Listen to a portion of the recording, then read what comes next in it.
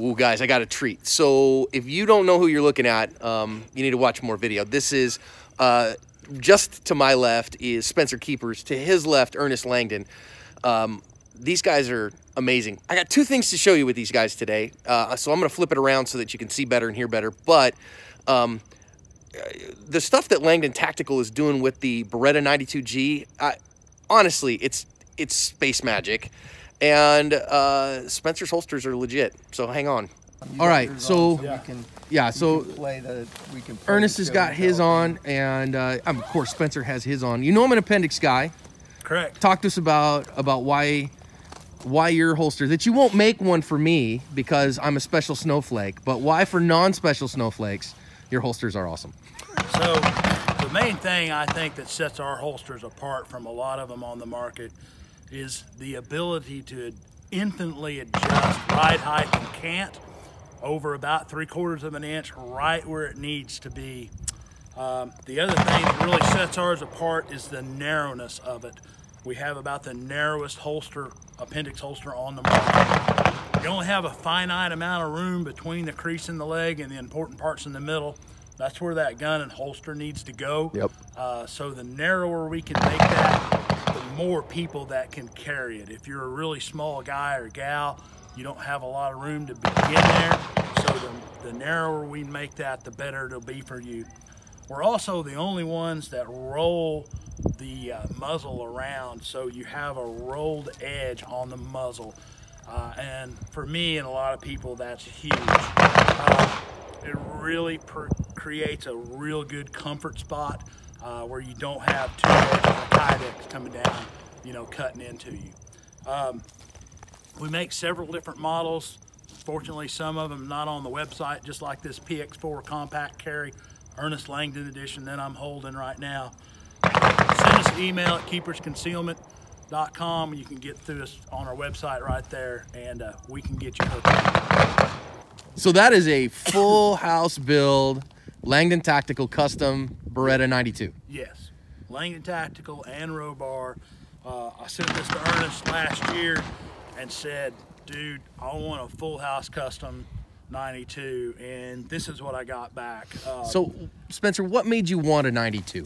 You got to tell us that first because So that's not typical. I wanted a 92, honestly. The reason I wanted to go to a DASA gun is so that when I have a student in a class that's running a DASA gun, I can say with 100% confidence, this is how you need to run the gun. Uh, I've been known as a Glock guy and a Glock instructor, if you will, for a long time. And uh, I wanted to explore the DASA guns so that I could become a more well-rounded instructor. Uh, I spent time on a 1911. I spent a lot of time on a Glock slash striker fired gun. So now I wanted to go, you know, that hardest gun of all, if you will, the DASA gun. And what I found out is it's not that hard at all. In fact, I prefer it now. I can carry any gun I want to, and this is the gun that I have on me when I'm out and about. I either have this or I have a PX4 compact carry on for both, and it's from uh, Ernest as well. So some of the things that Ernest did to this is, it's magic, folks. It's just, it, it's magic. The DA pull on this is roughly six pounds. Wait, wait, wait. Say say it again. The DA pull is roughly six pounds, but it is the smoothest, silkiest smooth trigger pull you will ever see. It's ridiculous. A six pound so- double action hammer. So Wait, wait till the, you try it. the, the coolest thing is, is handing this gun to a traditional DASA guy, Oh. and then them going about halfway through the first DA pull, stopping and turning around, looking at you and go, "Oh my God!" and then watch them shoot a dime-sized group at 10 yards. Huh. Easy. So. Ernest, why don't you go through everything you Yeah, did well, to this the gun? Because this it's is a just magic to me. Full, full, full house gun. We did everything you can think of to this gun. So it's to, to start with. We I, I do a carry bevel, and my carry bevel includes a lot of things that, that some people um, may or may not do. Um, radius underneath the trigger guard here, which is a big deal because on a Beretta, those sharp corners will eat you alive. And, and I don't Um, have a Glock knuckle anymore. yeah, yeah. No Glock knuckle. Hallelujah. Uh, radius on the inside of the trigger guard, and you, I don't even know if you know this Yeah, or oh, not, yeah, but, yeah, but this sharp edge Yes. right here uh, is what shaves kydex and does all that other stuff, makes the gun not want to draw well. Yes. It's also, you know, radius in uh, a couple other places here. If you look at the front side right here, this is also radius. Of course, I beveled as magwell uh, as well. So this is beveled and blended, and it's not so much like a lot of guys just go in and just put up uh, an angle on there and go, it's beveled. It's beveled fairly deep into the gun, uh, and that helps, you know, when you do insert it, but it's not quite lined up, it kind of falls into place better that way. Um, normally knocking corners off here. Actually, the back corners here on the beaver tail area uh, is also there are also knocked off, um, and doesn't make a big difference until you're on the range and you've shot. You know, you've got four or five hundred rounds down range on a hot, sweaty day, and that that's when you notice the corner. Uh, back back edges of the slide. This is a big one here with a lot of guys. When you grip the gun really high, Yes. um, those back corners on the Berettas are razor sharp and they'll lay you open. So we, we knock that down, take care of that issue. So there's a lot of little places that we uh, knock the corners off on the gun. And it does a couple of things. Not only does it just feel different when you pick the gun up and you go to shoot it, guys, the Beretta guys go this way, whoa, that's not the same thing that I'm used to feeling. Um, but it makes the gun wear better as well. So when you do put a finish on there, uh, Cerakote, this is um, Roguard, uh, black Roguard on here from Robar. Uh, those sharp edges create wear points on the finish. And when you radius those edges off, it doesn't start to look like crap nearly as fast, right? Especially in a, in a, in a, in a Kydex holster.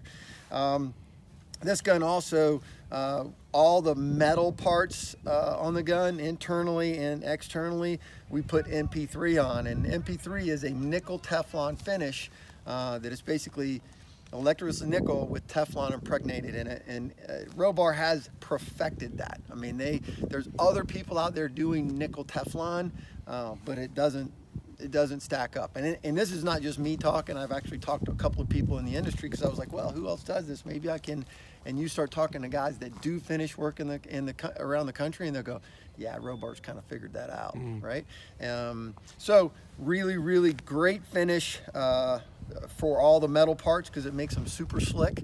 Um, and where it, you know, people talk about lubricity and, and all this type of stuff with metal parts.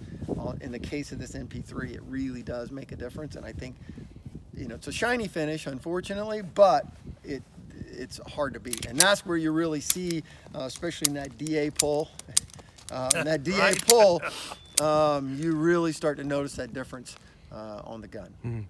So we should put you on camera and let you pull the trigger because you Uh, haven't pulled the trigger let's yet. I haven't. Yeah. Uh, the G conversion. We Oh did- yeah, yeah. so we did. that. So this is the conversion. Beretta's uh, decock only conversion. So this is a 92A1 uh, that we did the, the conversion to, um, and so the, this is an F model gun, and we put the G model uh, conversion on it. So it's just a swap in part converts it to, to G. The other thing I'd like to say, folks, um, with with this gun right here, as John knows, I won the top shooter award at the Rangemaster 20th year reunion uh, instructor class. Uh, with there were about 56 really good shooters there, uh, and I won a turbo pin from Gabe White. Actually outshot Gabe on his standards that day with this gun. So uh, I think I proved you can shoot a DA gun fast and accurately. Shh, hey, don't. Shh, don't tell I- I know, I It's know. impossible It's- to shoot them I- well. I- I Anybody that can is a magician and amazing shooter. You can't shoot them well. It's, it just can't. You got to And use it has nothing to do two with trigger it- pulls. it- It's impossible. It's nothing to do with practice. right? It's nothing to do with training. No, practice. they're not. They're hard, super hard to shoot. I'm not sure, but Ernest might be being sarcastic. Maybe, Just a little. maybe. All right, I'm gonna I'm gonna pull the trigger on that gun a couple times. So of course, gun's clear, right? Gun's empty. Um, yeah. Wow, smooth. So of course I gotta decock it, right? And just get a feel. My gracious, it's like butter. right? I mean, it, so yeah, I, it's, it's so the thing with a double action trigger pull normally is you're that 11, mm. 12 pounds. You know, you're really fighting it. You got a two pound gun in your hand, but this is, I mean, you really do have a smooth. Wow. Okay. Now All try. right. Now try the single action. Okay. Well, you know, now so if it's single action, you've got this super light. Wow, just delightful, accurate. I mean, obviously, So there's a reason, folks, that they're doing this. Okay, so if I was going to go to the Pasta Blaster, this would have to be it. Um, and I'm going to put Ernest back on camera and Spencer because I, from what I've heard, and I'm going to ask them, um, you can actually get a drop-in trigger kit for these and and get this kind of trigger even if you didn't do all the rest of it.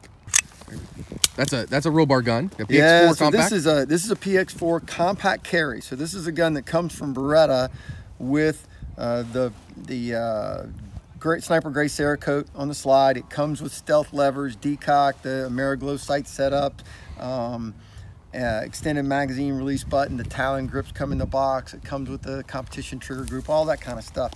Uh, so we what we did was we brought these in at Robar and did a package. This is a uh, basically what we call a mod 5 package so it has a spurless hammer which i'm a big fan of on these guns the, the barrel's been crowned back a little bit so it kind of looks cool is the biggest thing there um, it's got NP3 barrel barrel cam hammer sear all the pins and the trigger work and stuff have been done as well and so it has a really nice smooth da on it not quite as smooth and light as uh, as the the 92s can get because it's it's a polymer framed gun not a uh, Sure. but this is an amazing shooting little gun. It's really an interesting thing. Um, uh, there's actually quite a few people here at this conference that are shooting this gun. Uh, it's become a very popular carry gun because it shoots like a full-size gun. It's a compact gun. It's like Glock 19 size, 15 round magazine, uh, 9 millimeter, at, you know, 1.2 inches wide. It looks wide, but it's actually not nearly as wide as it looks. It's kind of the way that the shape of the gun is. Um, it's a great uh, carry gun because because of the, the back of the slide kind of rounds off. It doesn't have that telltale square base back of the gun that makes it, you know, obvious that you're carrying Yeah. a gun, right?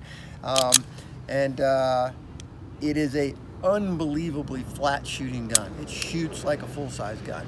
And, uh, and you don't you tell people that and they go oh, oh yeah well. and then you get them on the line especially if you you stick you know a Glock 19 and a P07 and you know other similar sized guns and they shoot them back to back. And inevitably it's kind of like the DA poll they shoot a couple shots and they look at you and go really? You know shoot a couple more shots and and they they're very very surprised. So uh, that's uh, also a really really popular gun that we're doing. This is a PX4 full size. So this is uh, what we call the PX4 carry. This is an exclusive from Langdon Tactical. So all of the things that you can get on the compact carry come in this gun. There are three magazines, 217 and a 20 round magazine, extended mag button, improved trigger, um, AmeriGlo sights, uh, Cerakoted slide, Talon grips in the box, stealth levers, all of that stuff has been done to the gun.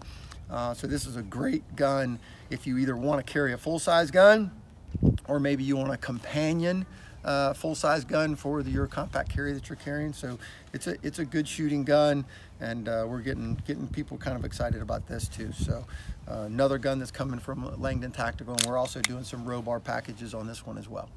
Yeah, so that's the this is a Wilson Combat Centurion Tactical. Syntax, correct. Yeah, yeah, Syntax.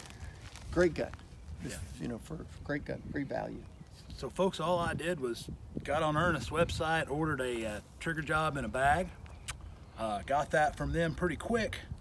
Uh, watched the video that they have on uh, YouTube on how to put it in.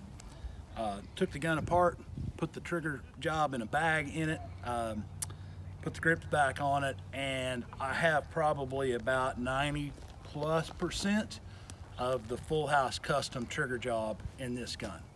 Uh, buttery smooth, roughly six pound DA pull, Wow. and then roughly Three and a half, three and a yeah. half ish Single uh, action. single action, very short reset, uh, nice and crisp. Uh, this is a great little gun, and I've put a few other trigger job in the bags and some of my other Berettas because I have obviously become a very big Beretta fan. Um, uh, if you follow me on Facebook or uh, Instagram, you'll know that. it's really easy to do. Uh, and one of the things I really enjoy about the guns is the mechanicalness of them. Uh, it's not like a Glock where you you know you get a three 30 second punch and you can do basically anything you want to it. Uh, you know you've got to have some different punches and maybe a hammer, you know, and stuff like that. But I, I enjoy the heck out of putting those kits in these Yeah. guns. It's really easy to do, guys. So I know somebody's going to ask on a six pound double action pull, are you having any problems with ignition? Are you having any failure to fire problems? no, not whatsoever. I, I have shot every kind of ammo there is out there, and I have had no uh, ammo related failures on uh, on any of my Berettas. Hmm. So yeah, I, I think they're I think they're good to go. And and you can get them in different trigger pools. Yeah, so right. We sell uh, the packages. You can get um, anywhere from an 11 pound hammer spring to a 16 pound hammer spring. Now, 16 hammer pound hammer spring would be the equivalent of a Beretta 92D hammer spring, and then we go down from there. Uh, these are chrome silicone springs. They're ISMI chrome silicone springs uh, that I'm getting from Wilson Combat. He's had them made. Uh, some of them, the 11 pound spring, is an exclusive that I had made uh, by ISMI. Uh, so it's a chrome silicone spring, which the interesting thing about them is they, their uh, life cycle on that spring is significantly longer than a music regular music wire spring. Uh, and the big issue is they're less, uh, they have less of an issue with heat. So when they get them really hot, it's not as big deal on the hammer spring. It's a bigger deal on like the recoil spring. Uh, you get the, the spring really hot, it'll start to take a set much faster than a uh, um than a chrome silicone spring. But we've got 11, 12, 13, 14, and 16 pound hammer springs that we do. We kind of skip 15 because it's not enough of a difference in there. Um, the reality is, for most people, when they say, hey, I, I just don't want to have to worry about it, um, if you're shooting U.S. manufactured ammunition, uh, the 13 pound spring is going to be fine. The 12 pound spring is a little better, um, and eh, I would I would say that you're probably not going to have any issues with U.S. made uh, ammunition. Uh, the big issue that comes into play is that if you treat your guns like crap and you let crap get into the firing pin channel and all those kind of things that can slow that firing pin down, then yeah, the, the heavier spring starts to become an issue. And the reason the D model spring is what it is in the Beretta is it's something they can issue to a guy and he's going to abuse and there's going to be freaking you know donut powder down into the gun and all the other kind of stuff. I, I mean, I say that only partially joking Yeah, because yeah. I've seen stuff come out of holsters. I'm like, oh my gosh, it's like cobwebs and Yeah. you know french fries and all kinds of shit and then you're going well yeah that might cause a problem and then in that case it doesn't matter whose gun it is Yeah. and so the d model spring where it really shines is it's a you know it's a service capable spring whereas the if you're going to take care of your gun you can get away with uh, if you're using quality ammunition and you're taking care of your gun you can get away with a lot more Well, and as you know, uh, with my Beretta 92A1s with the 12 pound hammer spring in them, I have about 10,000 rounds through one gun that you did that full house custom on, and I've had a singular stoppage in the gun. I had a stovepipe on a uh, round that felt incredibly weak. When the gun went off, it was more of a poof than a bang. Uh, that's been it. The gun has been a hundred percent reliable, except for that one round, not the gun's fault, um, on everything that I've shot through. it. No, so, nobody, nobody, nobody that knows what they're talking about says that the 92 is not an incredibly reliable gun. Yeah, for sure. Yeah, yeah. So if they want a uh, a trigger kit in a bag, where are they going to go get it, Ernest? Uh, LangdonTactical.com. Okay. Langdon Tactical. And if instead they they lust after Spencer's super Whamadyne custom rig, same place. Same place. You contact us and, and we'll Yeah. get it done. Depending on what you want, we'll we'll get it done. Uh, Bring a whole freight train full of money, and uh, we'll make it happen. It's actually not that bad. you know, It- it- and, and I I'm keep being you what, told. guys. he tells me all the time, dude, you should raise the price on that Yes, trigger job in it- a it- bag. it's worth way way more cheap. than it is. It's worth way more money than what it is. Nice. Uh, and uh, the difference between the two of them, even though I have trigger jobs in a bag, some of my other guns are going to go to him. We've already talked about it. And he's going to do another full house custom, a little different color scheme. Um, and it's You can stop anytime you want, huh, Spencer? uh, you you can stop anytime you want, huh? the, the admitting of a problem is that you admit you have a problem. Yeah, yeah. And I'm good. I'm good. Yeah, I, got don't it. have a problem. You have a problem. I don't have a problem. I'm good. Awesome, man. I think what a great choice. And, uh, you know, uh, obviously, uh, that traditional double action, if you want to get into that game, this is the way to do it. Yeah, yeah, it's really, really, really There are a interesting lot, stuff. a lot of benefits. Um, and it's something very quickly. The thing, especially carrying appendix, one of the great benefits is when you're reholstering a gun, putting your thumb on the Yeah, back of the over. hammer, then blocking blocking the trigger. Um, get that you know forward little lean and uh, holster the gun appendix. Uh, it's the safest way you can reholster a gun. Sure. When you put So- your thumb on the back of that hammer, you're positively controlling the firing mechanism of the gun. Uh, you can't, the gun can't cock and fire. I mean, you could, you probably have to break your finger uh, to overcome Sure. the mechanical force there. Uh, and if anything gets in the way, your thumb's gonna feel, hey, something's not right. Something Whereas if ain't you've got a striker fired gun, when you, you realize that something's in the trigger guard, when you hear the loud noise and smoke is coming from your pants. Yes. Well, and it's at holstering that you see those problems, Yep. not unholstering usually, Right. not drawing. Uh, it's putting the gun back in the Back bucket. holster. And if Yeah. you, you know, again, if you use good techniques like I teach in my AIWB skills class, you're going to be fine. But there's a lot of reassurance right here. Another layer of safety don't hurt you. That's right. Doesn't hurt you. Awesome, guys. Thanks for your time. Thank Yeah, you. Thank you.